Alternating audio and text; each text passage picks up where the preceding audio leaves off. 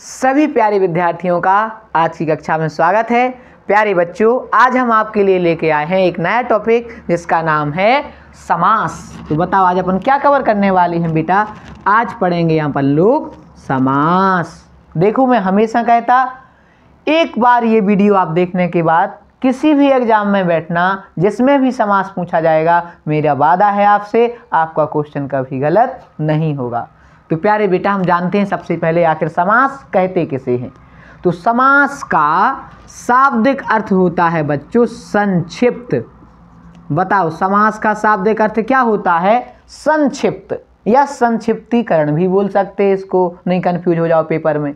समास का शाब्दिक अर्थ क्या होता है बेटा? संक्षिप्त।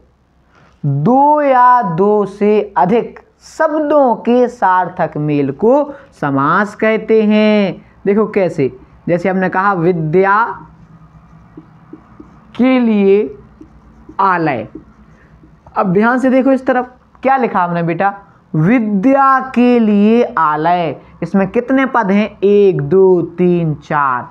इनको देखो हम संक्षिप्त रूप में लिखे दे रहे जैसे हमने लिख दिया, विद्यालय। अब देखो, एक, दो, तीन, चार। अगर हम चार शब्दों की जगह कोई काम एक शब्द में बना दें तो इसी को तो बेटा हम समास कहते हैं। बोलो, बात समझ में आई? तो हमने यही कहा, दो या दो से अधिक शब्दों के सार्थक मेल को हम क्या कहते हैं? समास। पक्का? बताओ बेटा, हमने क्या कहा? दो या दो से अधिक सार्थक शब्दों के मेल को हम क्या कहते? समास। बोलो, समझ में आई ना बात? देखो, चार पद को इकट्ठा कर दिया और एक और बात सुन लो। बेटा, जो ये मेल होता ना, इसको कहते हम समस्त पद। बताओ, क्या कहते? समस्त पद, या इसी का नाम है सामासिक पद। गलत मत करना पेपर में, बताओ। जो अच्छा ये जो बहुत लिखा है बेटा, इसका नाम है समास विग्रह। वो बहुत सारी शब्द लिखी, इसका नाम क्या है? समास विग्रह। तो याद रखना, जब हम पदों को तोड़ देते बेटा तो उसका नाम हो जाता है समास विग्रह और जब इन पदों को एक साथ सार्थक मिला के लिख देते तो इसका नाम क्या होता बेटा? समस्त या सामासिक पद। बोलो, इतनी बात समझ में आई? देखो, पदों को तोड़ना समास विग्रह और पदों को एक साथ करना क्या कहलाता है? समस्त पद। अच्छा एक और बात, इस समस्त पद में हमेशा बेटा दो पद होते। एक जैसे विद्या, और एक क्या है बेटा? आलय। तो एक को बोलेंगे हम पूर्व पद और एक को बोलेंगे बेटा उत्तर पद। बोलो, समझ में आई बात? पहले को हम क्या बोलते? पहले पद का नाम जो होगा, वो पूर्व पद होगा और दूसरे पद का जो नाम होगा बेटा, वो क्या होगा? देखो, इस दो पदों से मिलके बना। एक तो विद्या हुई आपकी और दूसरा क्या हुआ बेटा? आलय, यानी घर। तो बेटा, समझ में आई बात? विद्या प्लस आलय बराबर विद्यालय। तो ये आपको समझ में आ रहा होगा, ध्यान से सुनना। तो प्यारे बेटा, अभी हमने आपको समास के बारे में बताया। अब अच्छा एक और आ जाता कभी कभी कि समास दो शब्दों के मेल से बना है। बताओ, समास कितने शब्दों के मेल से बना है? दो। एक तो बेटा सम और एक आस। सम का मतलब होता है बेटा पास और आस का मतलब होता है बैठाना। मतलब पास बैठाना। शब्दों को पास पास करना क्या कहलाता है बेटा? समास कहलाता है। बोलो, इतनी बात आपको समझ में आई? अब बात करते हैं हम समास के प्रकार की। तो प्यारे बच्चों, हमारी हिंदी भाषा में छह प्रकार के मुख्य समास आपको पढ़ने को मिलेंगे। बताओ, कितने मिलेंगे? छः पहला द्विगु समास, फिर द्वंद्व समास, फिर कर्मधारय समास, फिर आपका बेटा अव्ययी भाव समास तत्पुरुष समास, बहुव्रीही समास। बताओ कौन सा समास? बहुव्रीही समास। एक, दो, तीन, चार, पाँच और छः प्यारे बेटा, कुछ एक, दो समास और, जैसे नए समास, अलुक तत्पुरुष समास, ऐसे एक, दो समास और हम आपको पढ़ाएँगे जो परीक्षा की दृष्टि से काफ़ी इंपॉर्टेंट होंगे। लेकिन अगर पेपर में आए कि समास कितने प्रकार के होते हैं तो बेटा समास होते हैं छः प्रकार के। बताओ, कितने होते हैं? छः दिगु द्वंद्व कर्मधारय, अव्ययी, तत्पुरुष और बहुव्रीही। इतने समास बेटा आपके, मुख्य समास हैं। ठीक है ना? अच्छा देखो, कई किताबों में इसका भी वर्गीकरण दिया है। बेटा, इस तत्पुरुष को भी फिर उन्होंने दो भागों में बांट दिया, बताओ। कितने भागों में बांट दिया? दो भागों में। बोले, दिगु और कर्मधारय।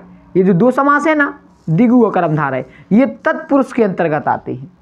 कई बुक्सों में मैंने ऐसा देखा है, इनको भी फिर दो भागों में बांट दिया। प्रधानता के आधार पर कि तत्पुरुष के दो भाग होते हैं, एक तो आपका कर्मधारय समास होता है, और दूसरा कौन होता है बेटा? दिगु समास।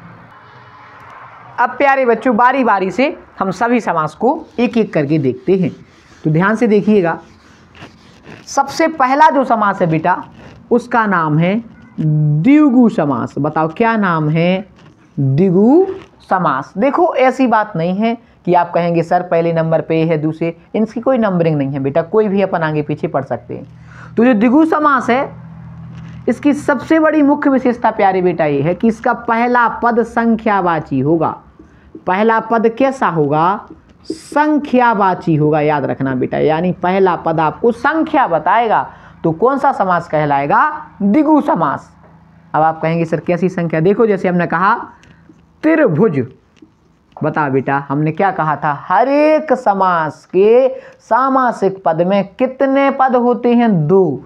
एक तो क्या होता है बेटा? पूर्व पद और एक क्या होता है? उत्तर पद। बोलो, बात समझ में आई? पहला पद पूर्व पद और बाद के पद को क्या बोलते बेटा? उत्तर पद। तो जिस समास का पहला पद ना, संख्यावाची हो और उत्तर पद प्रधान हो, उस समास को क्या कहते हैं? बेटा दिगु समास कहते हैं। बोलो, समझ में आई बात? क्या बोला हमने? जिस समास का पहला पद संख्या बताए और दूसरा पद प्रधान हो, उस समास को हम क्या कहते हैं? दिगु समास। जैसे त्रिभुज, क्या आ जाएगा? तीन भुजाओं का समूह। बताओ, कितनी भुजाओं का समूह? तीन भुजाओं का समूह। बोलो, बात समझ में आई? त्रिभुज तीन भुजाओं का समूह। बेटा, भुजाएँ तो हैं, लेकिन कितनी हैं? तीन। तो पहला पद संख्यावाची है, इसलिए कौन सा समास? दिगु समास। और एग्ज़ाम्पल देखो बेटा, जैसे हमने कहा त्रिकोण, यानी तीन कोणों का समूह। बोलो उस बात समझ में आती जा रही बेटा? पहला पद क्या होगा ना? संख्यावाची, चौराहा। चौराहा, यानी चार राहों का समूह। तो इस प्रकार से बेटा जिसका पहला पद संख्या बताए, उसे हम क्या कहते हैं? दिगु समास। अब आप कहेंगे, सर, एक दंत है जैसे एक शब्द। या मान लो चतुर्भुज है। क्या है बेटा? चतुर्भुज। तो ध्यान से सुनो। पहला है एक दंत और दूसरा क्या है? चतुर्भुज। तो बेटा, अच्छे से एक बात ध्यान से सुनना। जो एक दंत है ना अर्थात जिनका एक दांत हो और वो किसको कहा जाता है एक दंत गणेश जी को। चतुर्भुज यानी चार भुजाओं का समूह। और चतुर्भुजी किसे कहा जाता है बेटा? विष्णु भगवान को। तो संख्या तो इनमें भी आ रही भुजाएँ तो हैं लेकिन चार दांत तो हैं लेकिन एक। लेकिन बेटा ये दोनों आएँगे आपके बहुब्रीही समास के अंतर्गत। अब कैसे आएँगे? बहुत विस्तार से हम चर्चा करेंगे। अभी जब बहुवीरी पढ़ाएँगे ना तो उसमें ये बताएँगे कि जब शब्द तीसरे की ओर संकेत करे दोनों मिलकर पद तो उसे हम बहुवीरी समास कहते, भले ही वो संख्यावाची हो। और अगर बहुवीरी नहीं है बेटा ऑप्शन में, तब हमें यही लगाना है, कौन सा समास? दिगु समास। बोलो बात समझ में आई? एक और आता कभी कभी जिसके इकाई का अंक शून्य हो। ध्यान से सुनना, देखो, जैसे उन्होंने कहा, एक, पाँच, आठ, नौ, इसमें कौन सा समास है? बेटा, इन सब में द्विगु समास है। अगर संख्या पूछ दे वो तो। याद रखना, उसने कहा दस, बीस, पाँच सौ, इसमें कौन सा समास है? तो बेटा, जिसके अंत में इकाई का अंक ज़ीरो हो, उसमें भी द्विगु समास होता है। लेकिन नौ के बाद याद रखना प्यारे बच्चों, जैसे हमने कहा, तिरसठ बीच वाली संख्याएँ देखो, तैतालीस, पच्चीस। तो इन संख्याओं में प्यारे बेटा द्वंद्व समास होता है, याद रखना। कई बार आपको वो कंफ्यूज करेगा। देखो एक से नौ तक की संख्याओं में। क्या बोला हमने? एक से नौ तक की संख्याओं में। और जिनके इकाई का अंक ज़ीरो हो, उनमें भी कौन सा समास? दिगु समास। बाकी तिरसठ, यानी बेटा साठ और तीन को मिला के नहीं बनते तिरसठ। तो उन्हें अपन नहीं लिख सकते ना? साठ और तीन का समाहार, दोनों अलग अलग पन्ने पद हो गए। तो वो द्वंद्व समास में चले जाएँगे बेटा। तो इसलिए कन्फ्यूज़ नहीं होना। पेपर में ये कई बार पूछा जाता है। बाकी आपको मैंने समझाया कि जिसका पहला पद संख्यावाची हो, उसे हम क्या कहते हैं बेटा? उसे कहते हैं हम दिगु समास। अगले समास की ओर बढ़ते हैं बेटा। जिसका नाम है द्वंद्व समास। बताओ क्या नाम है बेटा? द्वंद्व समास नाम है। तो देखो द्वंद्व समास हम किसे कहते? जब दोनों पद जिसके प्रधान हों। देखो बेटा, जैसे हमने लिखा राजा रानी। तो देखो, राजा भी प्रधान है और रानी भी प्रधान है। पूरक है ना एक एक दूसरे के? तो जिसके दोनों पद प्रधान हो, ऐसे समास को हम क्या बोलेंगे बेटा? द्वंद्व समास। बोलो, बात समझ में आई? देखो, जैसे हमने कहा माता पिता क्या कहा हमने बेटा? माता पिता इसका विग्रह कैसे होगा? माता और पिता। बताओ, क्या होगा? माता और पिता। बेटा, माता पिता को हमने अलग कर दिया, माता और पिता लिख दिया। तो जिस समास में दोनों पद प्रधान हो, विलोम शब्द हो या तो वो क्या कहलाता है बेटा? द्वंद्व समास। और इनके बीच में योजक चिन्ह रहेगा। ज़रूरी नहीं है कि रहेगा। कुछ एग्ज़ाम्पल हैं ऐसे जिनमें योजक चिन्ह नहीं है, लेकिन द्वंद्व समास है। तो प्यारी बेटा, जैसे माता पिता, माता और पिता। जिस समास में दोनों पद प्रधान होते हैं, ऐसे समास को हम क्या कहते हैं? जल्दी से बताओ। द्वंद्व समास। तो बेटा इसके कुछ प्रकार और हैं, हम उनको और कवर करते हैं, ध्यान से देखिएगा। तो द्वंद्व समास के मुख्य रूप से हम तीन प्रकार देखते हैं। एक वैकल्पिक द्वंद्व समास, एक समाहार द्वंद्व समास, और तीसरा है बेटा इतरेतर द्वंद्व समास। देखो, वैकल्पिक द्वंद्व समास उसे कहते जिसमें दोनों शब्द आपस में विलोम हो। जैसे सुख दुख, जैसे भला बुरा। प्यारी बेटा, सुख दुख की बात हो रही ना? अगर जीवन में सुख है तो दुख होगा, दुख है तो सुख होगा। भला हुआ तो कभी बुरा भी हो सकता है, बुरा हुआ तो भला। तो आपस में जब विलोम शब्द हो ना, उसे वैकल्पिक द्वंद्व समास कहते समाहार द्वंद्व समास जब एक ही जाति के शब्द हों बेटा, जब एक ही जाति के शब्दों से हम क्या कहते हैं? समाहार द्वंद्व समास। जैसे गाय, भैंस एक ही जाति के हैं ना? जानवर ही है ना बेटा सब? कंकड़ पत्थर एक ही जाति के हैं। तो ऐसे समास को बेटा हम कहेंगे समाहार समास। समाहार द्वंद्व समास। और एक है बेटा इतर इतर द्वंद्व समास, जिसमें अपने शब्द लिखे का ही केवल अर्थ निकले। जैसे भाई, बहन, भाई अपनी जगह हैं, बहन अपनी जगह हैं बेटा। तो ये पूरक भी होते हैं। तो इसे हम क्या कहते हैं? इतर इतर द्वंद्व समास। हमने कहा था कभी कभी ऐसे शब्द भी आएँगे जिनमें योजक चिन्ह नहीं भी होगा, तब भी द्वंद्व समास होगा। जैसे देखो तिरसठ यानी साठ और तीस, साठ और तीन का समाहार को हम क्या बोलते तिरसठ। बोलो बेटा, बात समझ में आई? तो ऐसे समास का नाम क्या रखेंगे हम? द्वंद्व समास। प्यारे बच्चों, हम नेक्स्ट समास की ओर बढ़ते हैं। ये आपको समझ में आ गया होगा। तो अभी हमने आपको दो समास पढ़ाए, एक दिगु समास और दूसरा कौन सा? द्वंद्व समास। तीसरा जो समास है बेटा, उसका नाम है कर्मधारय समास। बताओ क्या नाम है? कर्मधारय समास। जिस समास का पहला पद विशेषण, बताओ जिस समास का पहला पद क्या हो बेटा? विशेषण, यानी विशेषता बताए। और दूसरा पद विशेष हो। दूसरा पद क्या हो? विशेष हो। बोलो, बात समझ में आई? क्या कहा आपने? जिस समास का पहला पद क्या हो बेटा? विशेषण हो। और दूसरा पद क्या हो? विशेष हो यानी विशेषता बताए। ऐसे समास को हम क्या कहते हैं? कर्मधारय समास। देखो एग्ज़ाम्पल से। जैसे नील गाय। बताओ बेटा, गाय तो है, लेकिन कैसी है? नीली है। तो गाय की विशेषता क्या है? नीली है। तो देखो जो नील है ना बेटा, ये क्या हो गया? विशेषण। और गाय क्या हो गया बेटा? विशेष। बोलो, बात समझ में आई? गाय तो है, लेकिन कैसी है? नीली है। नील गाय। गाय की विशेषता यह है कि गाय नीली है। तो जिस समास का पहला पद विशेषण हो और दूसरा पद विशेष हो, ऐसे समास को हम क्या कहते हैं, प्यारे बेटा? क्या कहते हैं? ऐसे समास को कहते हैं कर्मधारय समास। प्यारे बच्चों, कुछ प्रकार जो परीक्षा की दृष्टि से थोड़े महत्वपूर्ण है, वो कर्मधारय के भी देख लेते हैं। तो कर्मधारय को हम चार भागों में बांटते हैं, जिसमें दोनों पद विशेषण हो, जिसमें दोनों पद विशेष हो, जिसमें केवल पूर्व पद विशेषण हो, जिसमें केवल पूर्व पद विशेष हो। बेटा, हम पहले ही बता चुके बताओ, विशेषण किसे कहते विशेषण का मतलब होता है जो जो शब्द संज्ञा और सर्वनाम की विशेषता बताएँ, वो विशेषण। और विशेष जिनकी विशेषता बताएँ, है ना? तो देखो, जैसे चरण कमल, बेटा चरण तो हैं, लेकिन कैसे हैं? कमल हैं, बिल्कुल फिक्स कर दिया इसमें, रूपक अलंकार हमने अलंकारों में पढ़ाया था। तो जिसका पूर्व पद विशेष हो, देखो, बेटा ये पहला पद विशेष नहीं हो गया, चरण। और विशेषता कैसी है? कमल जैसे हैं। तो देखो, उत्तर पद क्या है? विशेषण। बात समझ में आई?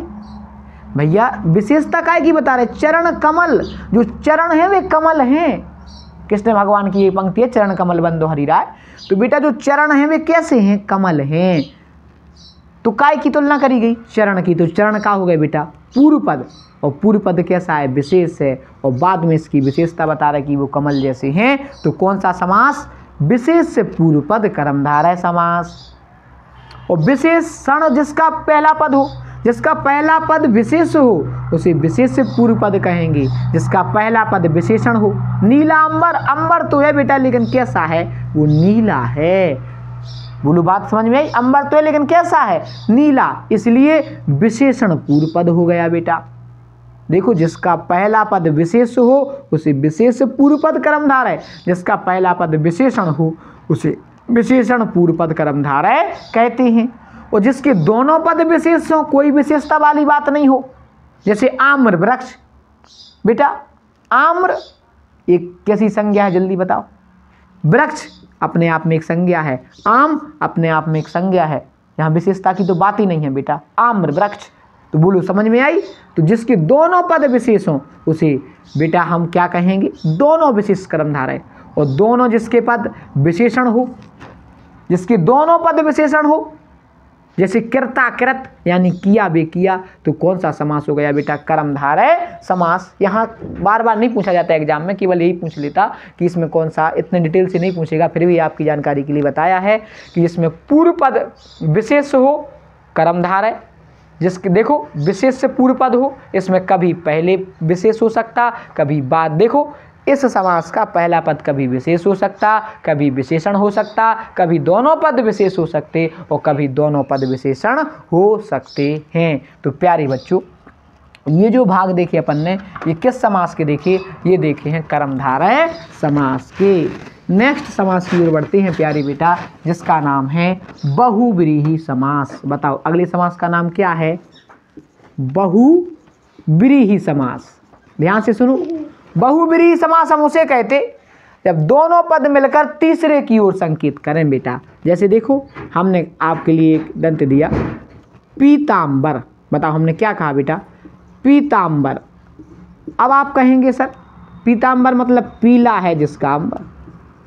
पीला है जिसका अंबर। और अंबर मीन्स क्या होता है बेटा? वस्त्र। तो देखो, अर्थात कौन किसके हैं पीले वस्त्र? श्री कृष्ण के। तो पीला है जिसका अंबर, अर्थात श्री कृष्ण। तो बेटा, जब दोनों पद मिलकर किसी तीसरे की ओर संकेत करें, देखो, एक तो पीला है और एक अंबर है। दोनों ने मिलकर तीसरे की ओर संकेत किया तो कौन सा समास हो गया? बहुब्रीही समास।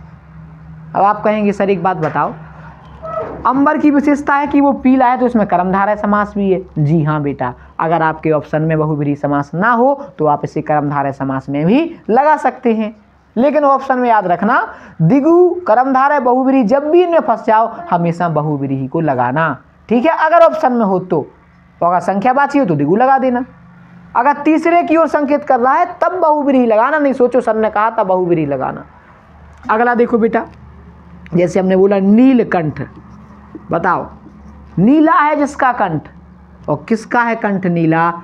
शिव जी का, अर्थात शंकर जी का। तो बताओ, नीलकंठ में कौन सा समास है बेटा? बहुब्रीही समास, चक्रपाणी। चक्र पाणी चक्र है हाथ में जिसके। किसके हाथ में है बेटा? विष्णु भगवान। कभी कभी कृष्ण ही बोल दिया जाता तो संकेत तो तीसरी की ओर जाना। इसलिए कौन सा समास है बेटा? बहुब्रीही समास। जिस समास में दोनों पद प्रधान नहीं होते, संकेत तीसरे की ओर जाता है। प्यारे बेटा, ऐसे समास को हम क्या कहते हैं? बहुब्रीही समास। बोलो, बात समझ में आई? चक्रपाणी चक्र है हाथ में जिसके, अर्थात कौन बेटा? और वो है भगवान श्री विष्णु। बोलो, समझ में आई? दशानन, दस हैं जिसके आनंद। देखो बेटा, दशानन, दस हैं जिसके आनंद। अर्थात कौन? रावण। रावण को बोला जाता है ना दशानन। अब इसमें देखो, दिगु भी है, लेकिन अगर बहुब्रीही आए तो बहुब्रीही ज़रूर लगाना। बोलो, बात समझ में आई? जब भी दिगु बहुब्रीही में फंसो तो कौन लगाना है बेटा? बहुब्रीही समास लगाना है। तो जब दोनों पद प्रधान ना हो, कोई तीसरा पद प्रधान हो, ऐसे समास को हम कहते बहुब्रीही समास। लास्ट दो समास और बचे बेटा। पहला है अव्ययी भाव समास। बताओ कौन सा है? अव्ययी भाव समास। अव्ययी भाव समास किसे कहते? जिसका पहला पद अव्य हो या जिसका पहला पद में उपसर्ग हो। उसे हम क्या कहते बेटा? अव्ययी भाव समास। अब आप कहेंगे, सर, ये अब क्या है? अब हम उसे कहते लिंग वचनकर्ता के अनुसार नहीं बदलते। संज्ञा, सर्वनाम, क्रिया, विशेषण, ये चारों बेटा बेकारी हैं। लेकिन इनके बाद जो आते हैं, वो सभी अब हैं। क्रिया, विशेषण, संबंध बोधक, विस्मयादि बोधक और समुच्चय बोधक। वो क्या कहलाते बेटा? अब। देखो, जैसे एक शब्द है, प्रतिदिन। ध्यान से सुनना। जैसे एक शब्द क्या है बेटा? प्रतिदिन। अब अगर हम लिख दें, देखो राम प्रतिदिन स्कूल जाता है। राम प्रतिदिन स्कूल जाता है। बताओ कौन जाता है प्रतिदिन स्कूल? राम। तो पुल्लिंग है ना राम तो। एक शब्द इसमें ध्यान से देखना, प्रतिदिन जो लिखा ना राम प्रतिदिन स्कूल जाता है। तो राम पुल्लिंग हो गया। अब राम की जगह अगर हम स्त्रीलिंग करें तो यहाँ हम लिख दें, बेटा सीता प्रतिदिन स्कूल जाती है। लिंग चेंज हो गया। पुल्लिंग की जगह स्त्रीलिंग। प्रतिदिन चेंज तो नहीं हुआ। वचन चेंज करके देखो देखो। वे प्रतिदिन स्कूल जाते हैं, ये सब चेंज होगा बाकी। अब बे की जगह हम क्या कर देंगे? वह प्रतिदिन स्कूल जाता है।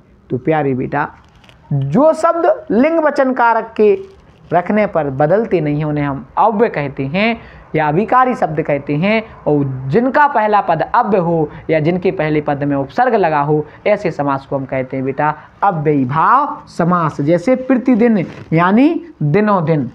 समझ में आ रही बात? आजन्म यानी जन्म तक। यथाशक्ति यथा शक्ति यानी शक्ति के अनुसार। या किसी शब्द की पुनरावृत्ति हो रही, जैसे हमने कहा, बेटा, धीरे धीरे। एक शब्द क्या कहा हमने? धीरे धीरे। तो भी कौन सा समास होता है? अव्ययी भाव समास। देखो, शब्द की पुनरावृत्ति हो, या फिर इसमें क्या जुड़ी हो? जल्दी से बताओ, इसमें जुड़ी हो। अब तो कौन सा समास? तो बेटा इसके कुछ और एग्ज़ाम्पल देखते हैं, देखो। प्रतिदिन मतलब दिनों दिन, यथाशक्ति, शक्ति के अनुसार, आमरण यानी मरण तक, अनुरूप यानी रूप के योग यथा क्रम यानी क्रम के अनुसार भर पेट यानी पेट भर। तो बेटा इसमें देखो आपको कई बार दिखा रहा होगा, पहला पद क्या है? अब है, या पहला पद क्या है बेटा? उपसर्ग है। तो ऐसे समास को हम क्या कहते हैं? अव्ययी भाव समास। उसके बाद अगला जो समास है, प्यारे बच्चों, उसका नाम है तत्पुरुष समास। बताओ क्या नाम है? तत्पुरुष समास। प्यारी बेटा, तत्पुरुष समास में अधिकांशतः आपको विभक्ति देखने में मिलेंगी। देखो, आपने व्यक्ति देखी होंगी जैसे कर्ता ने कर्म को करण से और संप्रदान के लिए, संप्रदान के लिए, अपादान से संबंध का और अधिकरण अधिकरण में और संबोधन है। बेटा, इस तत्पुरुष समास में आपको दो विभक्ति नहीं आएँगी। एक तो कभी कर्ता ने नहीं आती है और एक नहीं आती है बेटा, संबोधन विभक्ति। यानी तत्पुरुष समास में आपको छह विभक्ति देखने में मिलेंगी। बताओ, कितनी विभक्ति मिलेंगी? छह। कर्म को कर्ण से संप्रदान के लिए पादान से, संबंध का अधिकरण में। ये छह विभक्ति इसमें तुम्हें देखने को मिलेंगी। कौन से समास में? तत्पुरुष समास में। अब आप कहेंगे, सर, कैसा है तत्पुरुष? आप एग्ज़ाम्पल से समझाइए। तो देखो बेटा हम उसी को एग्ज़ाम्पल से ही समझाते हैं। जैसे हमने देखो, लिखा। अभी नहीं बताया था बहुत पहले आपको बेटा, विद्यालय। यानी विद्या के लिए आलय। विद्या के लिए आलय। आलय मीन्स क्या होता है बेटा? घर। अब इसमें क्या शब्द आ गया? के लिए। बताओ, क्या शब्द आया? के लिए। तो बताओ, ये कौन सी व्यक्ति है? कर्ता ने कर्म को कर्ण से संप्रदान के लिए। तो साथ में ये भी लिख देना कि इसमें संप्रदान तत्पुरुष है। बताओ, तत्पुरुष तो है, लेकिन कौन सा है? संप्रदान तत्पुरुष। बात समझ में आई? देखो, इसमें के लिए छुपाना बात समझ में आई? तो कौन सा तत्पुरुष है बेटा? इसमें संप्रदान तत्पुरुष। देखो, जैसे हमने कहा, स्वर्ग प्राप्त। क्या कहा? स्वर्ग प्राप्त, यानी स्वर्ग को प्राप्त। ध्यान से सुनना सभी स्टूडेंट्स तो प्यारे बच्चों, इसके हम और एग्ज़ाम्पल देखते हैं। देखो, जैसे स्वर्ग प्राप्त, स्वर्ग को प्राप्त। और बताओ, इसमें तत्पुरुष तो है, लेकिन कौन सा तत्पुरुष है? जल्दी बताओ प्यारे बच्चों, कौन सा तत्पुरुष है? कौन सा तत्पुरुष है? जल्दी से बताओ। स्वर्ग प्राप्त, स्वर्ग को प्राप्त, करता ने कर्म को। तो कौन सा तत्पुरुष है? कर्म तत्पुरुष। मन चाहा, मन से चाहा। देखो, कर्ता ने कर्म को कर्ण से है ना जो? प्यारे बच्चों, ये जुड़ने के अर्थ में होता है। और जो अपादान से है, वो अलग होने के अर्थ में होता है। इसमें चीज़ें जुड़ती हैं, उसमें अलग होती हैं। देखो, मन चाहा, मन से चाहा। तो कौन सा समास है? करण तत्पुरुष रसोई घर, रसोई के लिए घर। कर्ता ने कर्म को कर्ण से संप्रदान के लिए। तो इसमें प्यारे बच्चों, संप्रदान तत्पुरुष है। ऋण मुक्त ऋण से मुक्त अब देखो ये से अलग हो गया तो इसमें प्यारे बेटा अपादान तत्पुरुष है। गंगा जल, गंगा का जल, ये संबंध बता रहा है ना? तो बेटा, इसमें कौन सा समास है? संबंध तत्पुरुष समास। उसके बाद नगर बास नगर में बास प्यारे बेटा, अधिकरण में तो ये कौन अधिकरण तत्पुरुष है। बोलो, समझ में आया ना? तो ये भी पूछ सकता है कि इनमें तत्पुरुष तो है, लेकिन कौन सा? तत्पुरुष है। अब कभी कभी एग्ज़ाम में ये भी आ जाता बेटा कि ये नए समास के उदाहरण क्या हैं? जैसे असत्य है, अनादि है। देखो, जिनमें भी नकारात्मक शब्द हो ना, उन्हें हम नए तत्पुरुष समास कहते हैं। वैसे, अब आप कहेंगे, सर, ये आपने अनादि लिखा सत्य लिखा, इसमें आगे तो उपसर्ग हैं तो ये तो आपने अव्ययी भाव समास बताया था। यही तो कह रहे बेटा। देखो, अगर वो अव्ययी नहीं देगा ना आपको ऑप्शन में, अगर इसके बारे में पूछना होगा तो देगा नए समास ऑप्शन में अव्ययी कहीं नहीं देगा।